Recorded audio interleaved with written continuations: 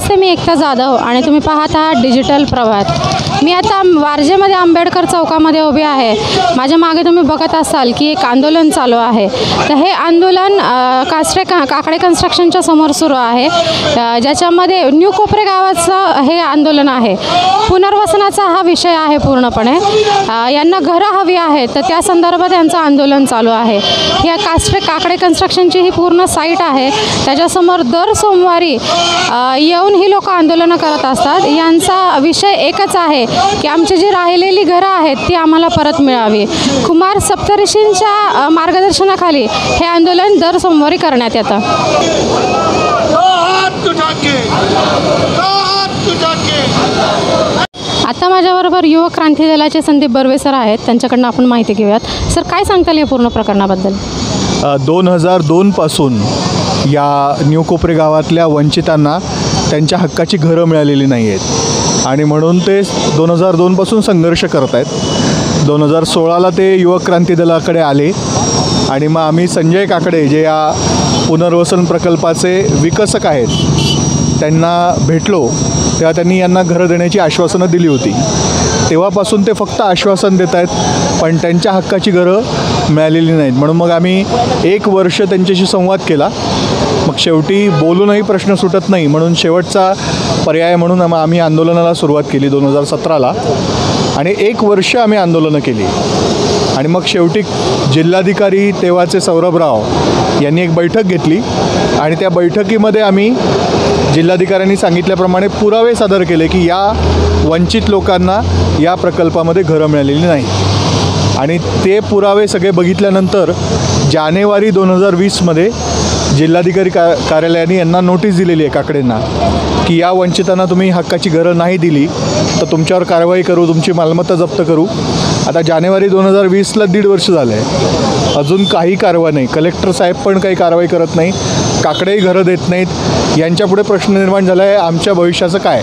जर उद्या समजा कारण हे पुनर्वसन एन डी एचं एक्सपान्शन आहे जमिनीचं एक्सपान्शन जर समजा मिलिटरी बुलडोजर घेऊन आली गावामध्ये आणि घरं पाडायला यांचं फ्युचर काय असणार आहे? तर तेव्हा जी काय परिस्थिती निर्माण होईल याला जिल्हाधिकारी आणि संजय काकडे हे दोघंही जबाबदार असणार आहे.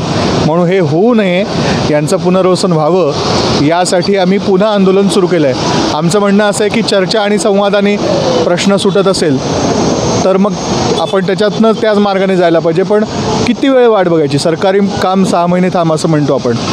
पण आता दोन हजार दोनपासून यांचं पुनर्वसन झालेलं नाही आणि युक्रांच्या नेतृत्वाखाली वारंवार सरकारने आश्वासनं देऊनसुद्धा पुनर्वसन झालेलं नाही.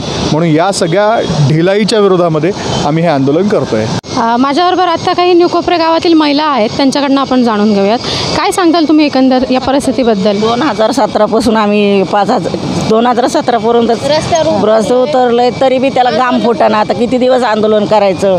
किती लोकांचं तळताट घेतो? काय माहिती? वचरा त्यांना. असं नाही करावं म्हणा किती दिवस आंदोलन? मस्त किती वेळा अटक झालं तरी हे नाही. असं थोडी करायचं असतं नाही करायचं असं असं. किती दिवस आम्ही आंदोलन करणार इथं?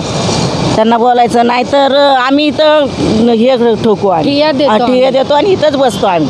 आम्ही घरीसुद्धा जाणार नाही. त्यांना कवर जाग येईन तेव्हा जाग येईन आम्ही तेव्हा जाऊ मग. इथं बसणार आणि इथंच त्या कामापाशी मुक्काम करणार आम्ही. हो. आम्ही जाणार नाही कुठं. नेहमीच आपलं येतोय जातोय आंदोलन करतोय. ह्या गोष्टीचा सरकारने विचार करायला हवा आहे. आहे की नाही? दोन हजार सतरापासून हे आंदोलन चालू आहे. आता या गोष्टीला वीस वर्ष झालेली आहेत. तर ह्या गोष्टीचा त्यांनी विचार करावा. असं आमचं म्हणणं आहे सगळ्यांचं. आता ॲक्च्युली कसं आहे माहिती आहे का? काही लोक व्यवसायात आहेत. काही लोक प्रायव्हेट जॉबला आहेत. तर महिलांना पण घरच्या तर जबाबदाऱ्या करून काही जॉब करतात. तर आता हे वर्षानुवर्ष असं चालत राहिलं तर किती वर्ष म्हणजे महिला हे करू शकणार आहे? तर शक्यतो लवकरात लवकर ह्या सगळ्या गोष्टींचा निर्णय लागावा आणि अठ्ठावीस अठ्ठ्याऐंशी वंचित कुटुंबांना न्याय मिळावा. गावाचे सरपंच म्हणून तुम्ही काय सांगता? गेले वीस वर्ष झाले आम्ही आंदोलन करतोय आम्हाला न्याय हवं आहे आम्हाला हक्काची घरं हवे. माझ्या मागे पण आहे, महिला येतात काय कामकाज आवरून येतात काही जण काम सोडून येतात बिचाऱ्या कामाला जातात. आम्हाला आमच्या हक्काची घरं मिळावं बस. आम्ही ना आंदोलन करून करून थकलून गेलो. या का? आमच्या बायांना चक्कर आले. पोलीस लोकांनी चहा बिस्किट आम्हाला पाजली. आम्हाला किती वेळा अटक केली. तरीसुद्धा काकडे साहेबांच्या ऑफिसवर सुद्धा आम्ही मोर्चा नेला. तिथंसुद्धा आम्ही केलं. चक्कर येऊ येऊ पडलो. आम्हाला उचलू उचलू नेलं. तरीसुद्धा त्या माणसाला घाम फुटला नाही.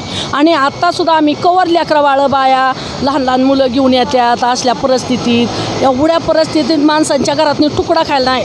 का काय नाही? अशा पाण्यातनी असं आम्ही पाण्यातने आम्ही झोपलो. पाण्यातने सुद्धा पोलीस लोकांनी आम्हाला उचल उचलून नेलं.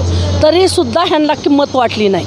आणि आज आम्हाला हक्काची गरज नाही अर्ध्याला आता तुम्ही सांगा की एवढ्या चार माणसं दहा माणसं जेवाय बसल्या तुम्ही पाच जणालाच जेवाय वाढू शकता का? अर्धी माणसं उपाशी ठेवू शकता का?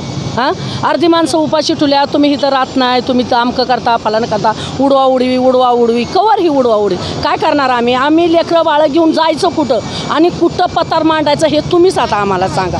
तुम्हीच तुम्हीच आमचे मायबाप आहेत. आम्हाला काहीच कळत नाही. आता आम्ही तर थकून गेलो आहे पार आमच्या चार चार पाच पाच पिढी गेल्या तरी पण आमचा न्याय नाही. आत्तापर्यंत आमचा आमच्यासाठी किती लोक जातात किती करतात तरी आमची कचराच किंमत.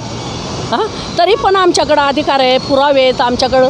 असं बी नाही की आम्ही पुरावे नाही घेऊन रोडला बसतोय. पुरावे घेऊनच रोडला बसतोय ना. तरी पण आमची किंमत नाही आहे चला उठ आज देतो आज देतो उद्या देतो ना अशी नुसतं उडवाउडीची. हां? कवर आम्ही बारीक बारीक लेकरं बाळ घेऊन बसायचो.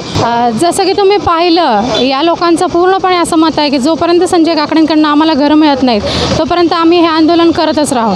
धन्यवाद.